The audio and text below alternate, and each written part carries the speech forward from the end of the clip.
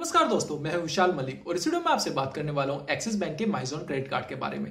दोस्तों, अगर आपके पास पहले से ये क्रेडिट कार्ड है तो मैं आपको बताऊँगा इसके अंदर क्या क्या बेनिफिट्स है, जिनका आप उपयोग कर सकते हैं अगर आप उपयोग नहीं कर रहे हैं। दोस्तों, और अगर आप इस क्रेडिट कार्ड के लिए अप्लाई करना चाहते हैं तो भी आपको इस वीडियो को देखना चाहिए, क्योंकि आप जान जाएँगे कि आप जिस क्रेडिट कार्ड के लिए अप्लाई कर रहे हैं, उसके क्या क्या बेनिफिट्स और कितना फ़ी और चार्जेस वगैरह इस क्रेडिट कार्ड के अंदर आपको लग सकते हैं। वीडियो को मैंने तीन पार्ट में डिवाइड किया है। सबसे पहले मैं बात करूँगा कि इसके क्या क्या बेनिफिट्स है।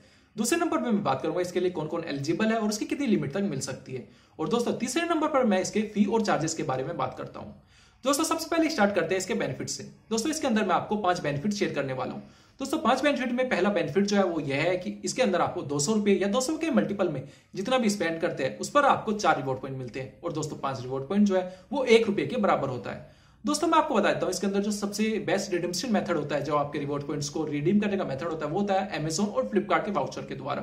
दोस्तों, जो बाकी के कुछ कार्ड होते हैं, जैसे HDFC वगैरह, उन सभी कार्ड के अंदर जो आपको पॉइंट्स रहते हैं, उन्हें रिडीम करने के लिए फ़ी और चार्जेस देनी पड़ती है। लेकिन इसके अंदर ऐसा कुछ नहीं है। इसके अंदर आपको कोई भी फ़ी और चार्ज देने की ज़रूरत नहीं आप अपने जो पॉइंट्स है, उन्हें फ्रीली रिडीम कर सकते हैं बिना किसी चार्ज के।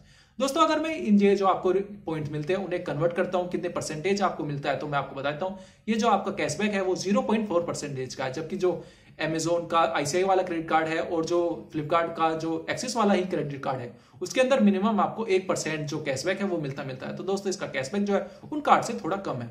दोस्तों, दूसरा बेनिफिट जो इस कार्ड के अंदर आपको देखने के लिए मिलता है, वो है मूवी टिकट्स पर। अगर आप पेटीएम मूवीज़ के थ्रू हर महीने मूवी टिकट बुक करते हैं तो ये कार्ड आपके लिए हो सकता है। दोस्तों, इसके अंदर आपको 25 परसेंट तक का कैशबैक मिलता है मूवी टिकट्स पर। और मैक्सिमम कैशबैक जो वो हर महीने सौ रुपए है। यानी आप हर महीने सौ सौ रुपए इससे कैशबैक ले सकते हैं। अगर मान लीजिए अगर आप चार सौ रुपए का कोई भी मूवी टिकट बुक कर रहे हैं, उस पर आपको सौ रुपए का कैशबैक तो आपके माइजोन क्रेडिट कार्ड के अंदर मिलेगा मिलेगा। और अगर पेटीएम पर फिफ्टी परसेंट कैशबैक चल रहा है तो दो सौ रुपए का कैशबैक मिल जाएगा आपको, आपके पेटीएम वॉलेट पर। यानी चार सौ रुपए की टिकट आपको इस कार्ड के इस्तेमाल के बाद आपको सिर्फ़ सौ रुपए की पड़ेगी।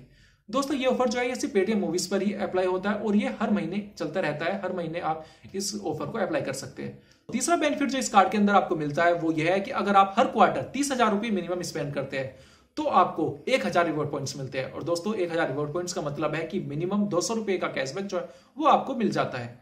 दोस्तों, ये बाकी कार्ड में किसी में मिल जाता है इस तरीके का ऑफ़र किसी में नहीं मिलता है। लेकिन इसी तरीके से ये जो मुझे लगता है ये अच्छा है। पहले कैशबैक जो है, वो थोड़ा ज़्यादा मिलता था, लेकिन अब जो आने वाले टाइम पे है वो धीरे धीरे रिड्यूस होता जा रहा है, और ये कैशबैक जो है, अब धीरे धीरे जो क्वार्टर वाला कैशबैक है, वो धीरे धीरे कम होता जा रहा है। दोस्तों, तीसरा और चौथा जो बेनिफिट है, वो सभी क्रेडिट कार्ड में मोस्टली आपको मिलते हैं। तो आपको मैं फिर भी बता देता हूँ, जो चौथा बेनिफिट इसके अंदर आपको मिलता है, वो यह है कि आप अगर एयरपोर्ट पर जाते हैं तो आपको कॉम्प्लीमेंट्री लॉन्च एक्सेस मिलती है, जो कि मोस्टली सभी क्रेडिट कार्ड पर मिलते हैं। आपको हर क्वार्टर पे एक फ्री कॉम्प्लीमेंट्री लॉन्च एक्सेस मिलती है। दोस्तों पांचवा बेनिफिट जो है वो यह है कि आपको एक परसेंट का फ्यूल सरचार्ज वापस मिलता है अगर आप चार सौ रुपये से लेकर चार हज़ार रुपये तक का स्पेंड करते हैं फ्यूल पर। दोस्तों, ये सभी थे इसके बेनिफिट अगर आप इनमें से किसी बेनिफिट का इस्तेमाल नहीं कर रहे हैं तो आप इस वीडियो को देखने के बाद उनका बेनिफिट का इस्तेमाल कर सकते हैं।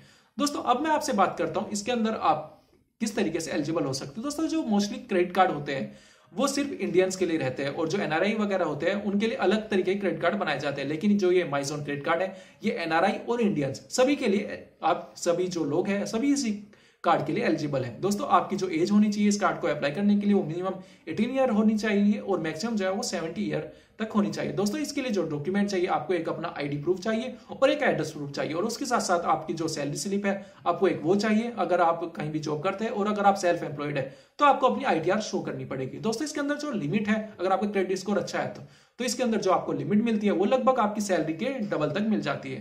अब मैं आपसे बात कर लेता हूँ, इस क्रेडिट कार्ड के अंदर आपको कितने चार्जेस लग सकते हैं?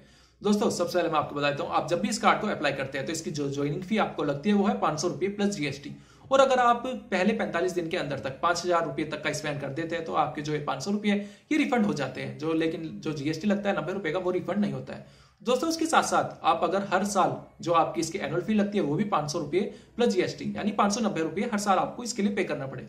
लेकिन अगर आपको प्री अप्रूव्ड बेसिस पे ये कार्ड मिलता है तो मैंने मोस्टली देखा है कि ये कार्ड फ्री मिलता है, क्योंकि जो मुझे भी ये माइजोन का कार्ड मिला है, वो फ्री मिला है और मेरे कार्ड की जो लिमिट है, वो एक लाख पंद्रह हज़ार रुपये है। दोस्तों इसके बाद अब मैं बात कर लेता हूँ कि इसके अंदर आपको कितना इंटरेस्ट पे करना होता है। अगर आप इसका जो क्रेडिट कार्ड का बिल है, वो टाइम पे पे नहीं करते तो आपको इसका हर मंथ 3.25 परसेंट के रेट से इंटरेस्ट पे करना पड़ेगा। इसके अंदर आप अगर लेट फ़ी पे करते हैं या ओवर लिमिट इसका फालतू इस्तेमाल कर लेते हैं, उसके लिए भी तो आपको पाँच सौ प्लस जीएसटी पे करना पड़ेगा। दोस्तों, अब मैं बात कर लेता हूँ, अगर आप इस कार्ड के थ्रू कैश को विड्रॉ करते हैं तो उसके अंदर भी आपको इसके अंदर चार्जेस देने पड़ेंगे। तो मैं आपको नहीं चाहूँगा कि आप जो किसी भी क्रेडिट कार्ड का बिल जो है वो लेट पे करें और उससे कैश विड्रॉ करें, क्योंकि कैश विड्रॉ करने पर भी आपको कैश देना पड़ता है। आप जो क्रेडिट कार्ड है, उसे नॉर्मल क्रेडिट कार्ड की तरह इस्तेमाल करें, उसका टाइम पर बिल पेमेंट करें। दोस्तों, आशा करता हूँ आपको यह वीडियो पसंद आई होगी और अगर आपको यह वीडियो अच्छी लगी तो इस वीडियो को लाइक कर दीजिए और इसी तरीके की और वीडियोस के लिए आप इस चैनल को सब्सक्राइब कर दीजिए। और अगर आप जानना चाहते हैं किसी और क्रेडिट कार्ड के बारे में तो आप कमेंट्स के थ्रू मुझे उस क्रेडिट कार्ड का नाम बता सकते हैं और मैं आपके लिए उस क्रेडिट कार्ड के बारे में वीडियो बना दूँगा। और दोस्तों, अगर आपको इस क्रेडिट कार्ड के रिलेटेड कोई भी क्वेश्चन आ रहा है तो आप कमेंट के थ्रू मुझसे पूछ सकते हैं। थैंक्स फॉर वॉचिंग जय हिंद, वंदे मातरम।